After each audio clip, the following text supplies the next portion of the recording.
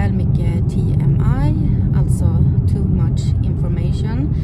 Men eh, jag vill dokumentera det här. Klockan är halv nio på morgonen och ehm, jag är på väg till kvinnokliniken. Det är så här att jag har inte eh, haft blödningar på två och ett halvt år. Men då så i torsdag så började jag att blöda. Eh, det är måndag idag så att ehm, jag fick tid ganska snabbt att kolla upp det här. Jag ringde alltså direkt upp på kvinnokliniken och de ville att jag skulle komma på en gång. Det man vill kolla är alltså eh, cellförändringar. Så ja, eh, vi får se hur det går. När jag är klar inne i undersökningsrummet, jag sitter i hissen på väg ut. Ja, det där var en surrealistisk upplevelse, minst sagt.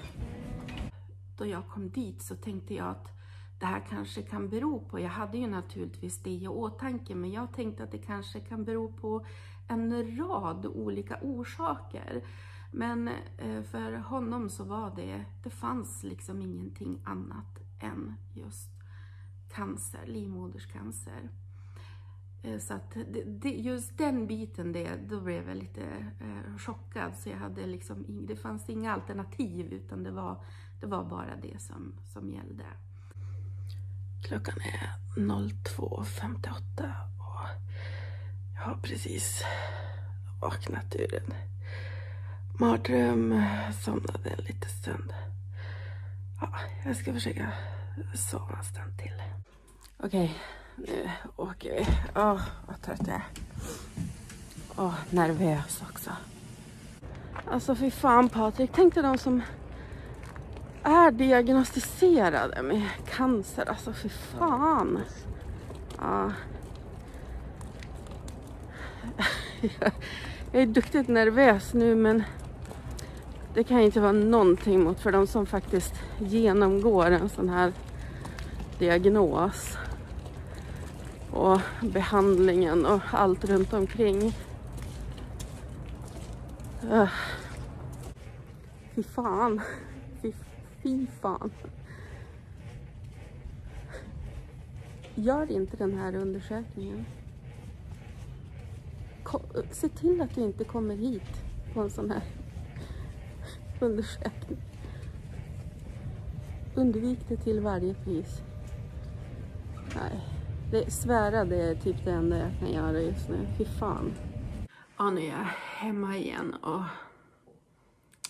Alltså... Ja. Det där gjorde ont. Det hon såg, det var... Um, hon hittade samma fynd som den förra läkaren hade gjort.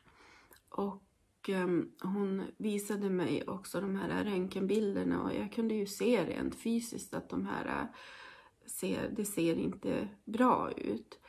Ehm, så hon, hon sa direkt att jag äh, behöver en operation. Och det är inte förrän då som jag liksom helt kan äh, få veta om jag är helt liksom cancerfri eller inte. Ja, nu är jag här på operation i omklädningsrummet. Jag har varit jättelugn på morgonen men nu vart jag jättestressad av det här. Jag är alldeles andfådd. Jag gick precis iväg på de mest ovärdiga ja, grejen. Jag skulle gå på toaletten och medicinera.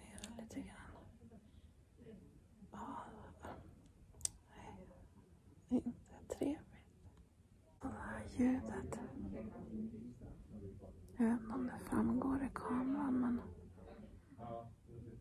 alltså det är rena döden av så alltså, mycket sorlprat. Jag blir stressad av det. Ah, fy fasiken, jag är precis nyopererad nu. Jag har börjat att pigna till så nu ska jag åka hem om en liten stund. Jag har ingen cancerdiagnos än. Det är ju det här som vi håller på att undersöka. Och eh, också därför som jag har opererat mig. Och det man gjorde igår, det var att man tog ut eh, polyper och så eh, skrapade man bort eh, slemhinneförtjockning eh, som ja, påvisade, med påvisade cellförändringar. Det här har man nu skickat till patologen och det är inte först då som jag får veta till 100 procent ja, om jag har cancer eller inte. Det, det, det, är liksom en omöjlighet att gå och tänka, att, in, att inte tänka att eh, herregud, har jag cancer nu eller vad? Och sen efter operationen så kom ju eh, läkaren och berättade, jag hade en kvinnlig jättefin, duktig läkare eh, som kom och berättade hur, eh, hur allting hade gått och så vidare. Och vilka fynd hon gjorde och hur det såg ut och sådär. Och min känsla var direkt att ja, men den här tanden är nog inte så dåligt skick ändå. Så ja, jag till och med vågar säga det högt så här. Det skulle jag aldrig ha gjort om jag inte hade en väldigt stark känsla. Men ja, jag vill ändå reservera mig för att jag kan ju ha fel. Det är ju, jag är ju verkligen ingen doktor. Så att eh, ja, vi får helt enkelt vänta och se på, på, på provresultaten.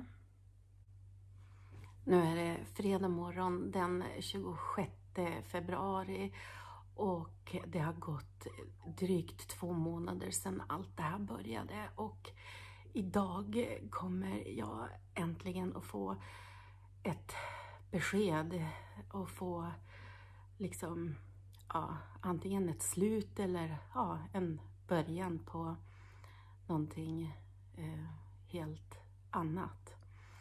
Eh, jag har fått eh, brevet det kom i ehm, igår. Vi får posten väldigt sent här men ja, jag hade eh, lite annat för mig igår och jag ville helt ärligt inte öppna det igår på grund av det som ja, jag höll på med. Jag behövde liksom ha fokus på det. Eh, jag det jag kan säga det är att det har varit en enorm eh, berg och dalbana känslomässigt det här. Och jag vill också tacka alla som har eh, varit så himla stöttande och fina till mig för att eh, ja, ni visar ju stort prov på empatisk förmåga att kunna liksom på något sätt eh, sätta er in i att det här liksom var inte helt lätt. Och ja, det, jag sätter väldigt stort pris vid det och, och att eh, um, ja, det är ju det, det, är ganska stor skillnad på, på det som jag vet liksom rent intellektuellt sett och det som jag har, du som har följt med från, från början vet ju hur mina tankegångar har gått. Att jag liksom, jag förstår ju att det här är, är någonting som är vanligt och någonting som, som eh, drabbar kvinnor och ehm, eh, och att också prognoserna är goda. Men det tar liksom inte bort den här känslomässiga biten och jag är en liksom, människa som lever med känslorna utanpå. Det kan inte jag hjälpa, det bara är så. Så det, det har verkligen varit eh, Eh, tufft.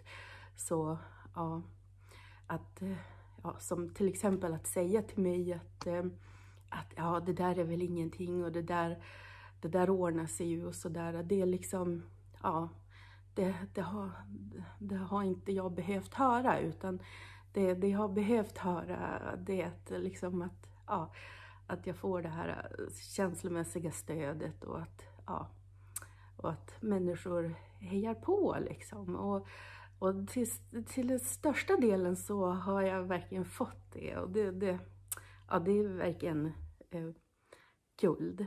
Vi ska öppna det här. Nu ska inte surra så mycket och dra ut på det här. Nu ska vi öppna och kolla. Lite, lite skakigt. Hej Monica. Jag har nu fått prov på... Eh, jag kanske måste ta på mig glasögonen.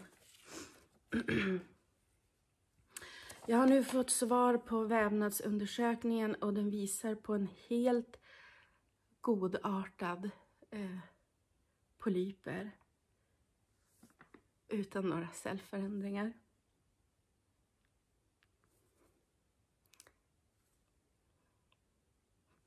Och jag hoppas att det har gått bra för dig efter operationen.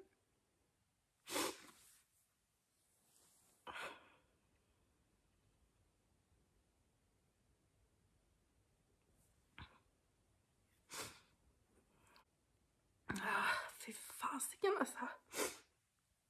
Ah, det känns ju så skönt att kunna släppa det här nu och jag har sån enorm respekt för människor som går igenom såna här saker och jag vet särskilt en som, som jag känner väldigt väl tyvärr gå igenom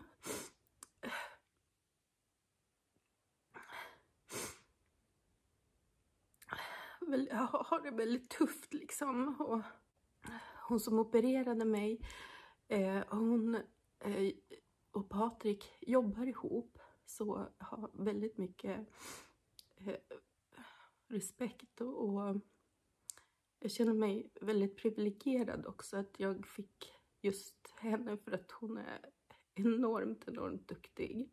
Det känns bara lite konstigt att att de är kollegor och hon vet mer om mig än, än jag själv ens en gång. Patrik någonsin kommer att veta. Oh my gosh. Det här var verkligen, det är verkligen en riktig känslomässig berg och dalbana det här. Men jag ska försöka samla mig här under dagen och ja, glädjas åt det här och försöka eh, släppa det här nu och eh, bara försöka fira livet. Eh, tack för att du har hängt med mig på den här resan och jag hoppas att jag aldrig ska behöva göra någon sån här liknande eh, dokumentär igen. Jag är väldigt glad att eh, jag har dokumenterat det här. Eh, det ligger liksom i min natur, att tänka i bilder och, och, och så vidare. Men ja, det var... Ja, det var som allt jag ville säga. Tack och tusen massa kramar till dig och så hörs vi snart igen. Hejdå!